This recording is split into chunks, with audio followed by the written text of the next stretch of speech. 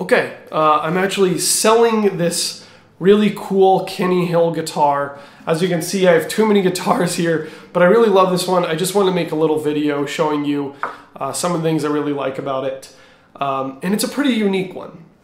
I've owned a bunch of different Kenny Hill guitars. In fact, if you look through my channel, you'll you'll find uh, some videos. And I haven't seen one quite like this. Although nowadays, as a little aside, Kenny Hill does make uh, some other ergonomic model guitars. This one, however, is from 2011. And now it's called the ergonomic model or stand-up model. It's one of his signature models. And what's so cool about it, I'll start with my favorite thing, is this armrest that the guitar has. And actually, take a look at it, at it close up here. Can you see how it just carves away into the guitar there with that beautiful wood? Um, that's what I really like. It feels really comfortable, but it's not a sacrifice to making it look like some sort of like cutaway guitar, right, for the left hand that you've seen, or, uh, or, or some sort of hybrid guitar. It doesn't look like that. In fact, from a little bit more of a distance than this three foot away camera, uh, you really don't notice that there. Maybe you don't even notice right away in the video. However, it makes it so much more comfortable for your arm when you play. And I, I really do think it's the future of uh, classical guitars.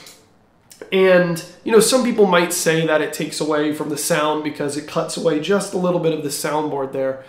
But, uh, you know, it's not something that I notice. I don't feel like this guitar is lacking something because it has this. It just feels like all a plus. Also, it has uh, these sound ports here as well as these input jacks. Well, input jacks. This one's the input jack. The other ones are in pins. Um, so it's you know partially called the stand-up model here because I know Kenny Hill himself uh, does a lot of practicing standing up, and actually I'm seeing a growing number of people doing this. At least spending some of their practice time either sitting down with the strap with their feet off a footstool or using the guitar supports, or standing up, just for a break for our backs.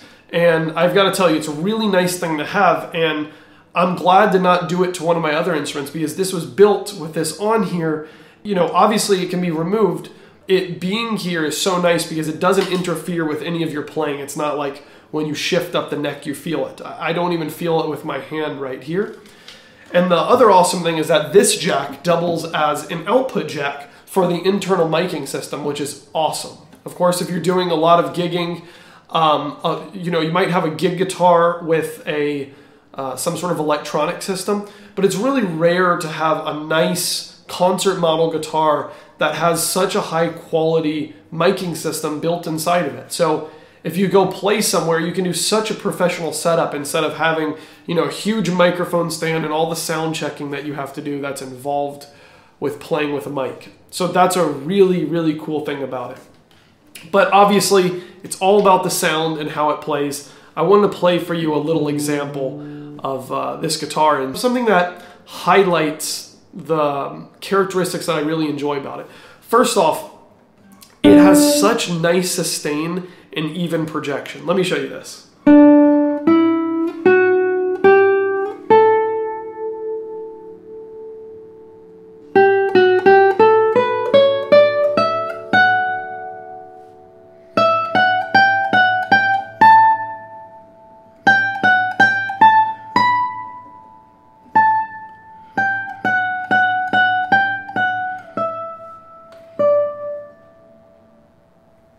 How about that first string? And these are not some high tension carbon strings. These are normal tension D'Addario nylon strings. So I mean, the second string sounds just like the first. Listen to this.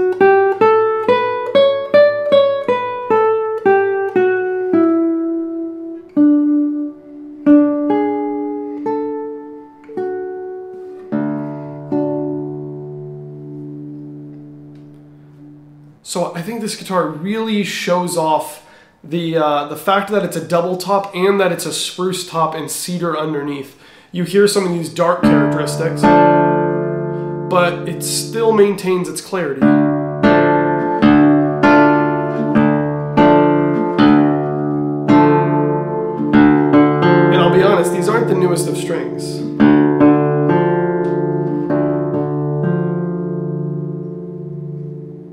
So on that D minor note, I'll just play you a little piece here and uh, just trying to demonstrate some of these characteristics like I was saying.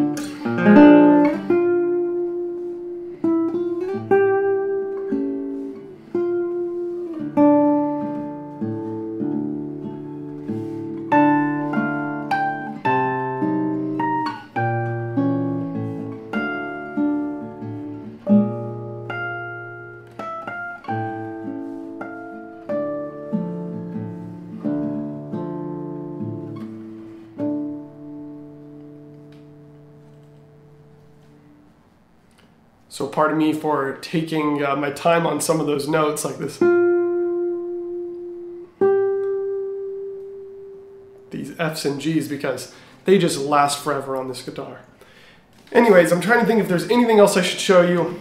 It does have the raised fingerboard. Of course, that makes it so easy to play um, when you can just reach up really high like these high Bs and everything just are, are much easier with those. Big fan. Um, basically all the guitars I play on and enjoy have that raised fingerboard. It sort of feels like a no-brainer. Why not have that?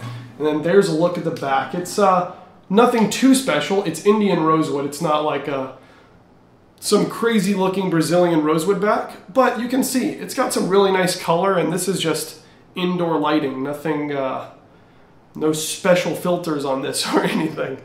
Um, anyways, it's a really gorgeous guitar. Just thought I'd show you. And uh, yeah, look out for the next video. I might make one on one of these guitars here. Thanks.